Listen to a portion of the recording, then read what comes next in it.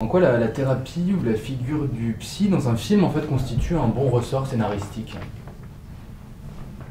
Vous n'avez pas plus simple comme question